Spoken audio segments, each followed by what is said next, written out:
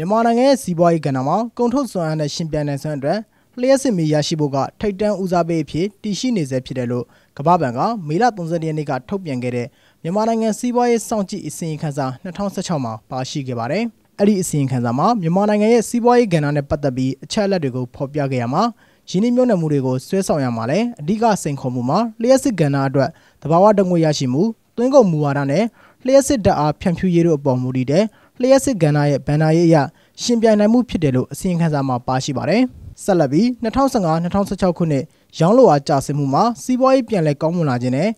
ပုဂ္ဂလိကယင်းနှိမ့်မြုပ်နှံမှုပြန်လည်မြင့်တက်လာခြင်းတို့ကြောင့်2016-2018ခုနှစ်မှာမြန်မာနိုင်ငံရဲ့ပုံမှန်ဈေးနှုန်းအရ GDP ဟာ9.8ရာခိုင်နှုန်းမြင့်တက်ဖို့ခန့်မှန်းထားပြီးကာလလက်မှာတစ်နှစ်ကိုပြန်မြအားဖြင့်8.2ရာခိုင်နှုန်းတိုးဖို့ကမ္ဘာ့ဘဏ်ကခန့်မှန်းထားတာဖြစ်ပါတယ်။ ဒါအပြင်စိုက်ပျိုးရေးကဏ္ဍထွက်ကုန်များရောင်းလိုအားကျဆင်းမှုမှာပြန်လည်ဥမောက်လာတာကြောင့်ငွေကြေးဖောင်းပွားမှုဖိအားရောက်ကျလာစေဖို့မျှော်မှန်းပြီး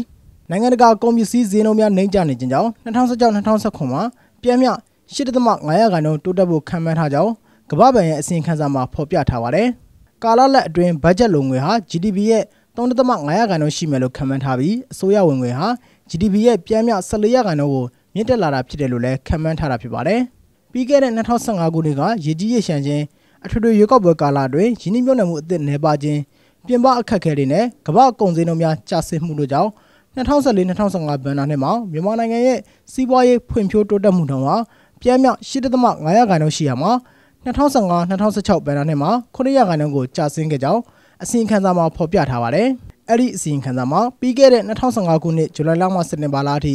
ရေကြီးရေရှမ်းမှုတွေကြောင့်စိုက်ပျိုးရေးကိုထိခိုက်စေခဲ့ပြီး အကျိုးဆက်အဖြစ်2015ခုနှစ်အောက်တိုဘာလမှာငွေကြေးဖောင်းပွားမှုဟာအမြင့်ဆုံး16ရာခိုင်နှုန်းအထိရောက်ရှိခဲ့ပြီးစိုက်ပျိုးရေးကုန်စည်ရောင်းလိုအားကျဆင်းမှုနဲ့ကမ္ဘာကုန်စည်နှုန်းများကျဆင်းမှုတို့ကြောင့်ကုန်သွယ်မှုလုံငွေပြခဲ့ပြီးငွေလဲနှုန်းပေါ်ဖိအားဖြစ်စေခဲ့တာဖြစ်ပါတယ်။